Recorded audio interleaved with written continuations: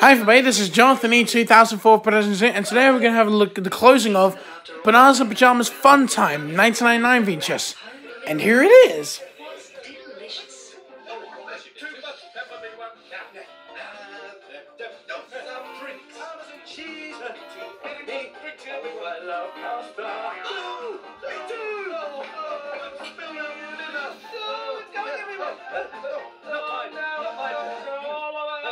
shop at that motherfucker.